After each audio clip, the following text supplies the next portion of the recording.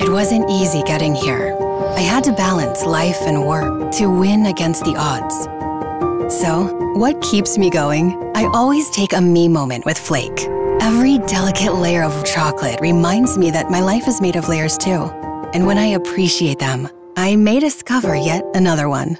You deserve a Flake moment.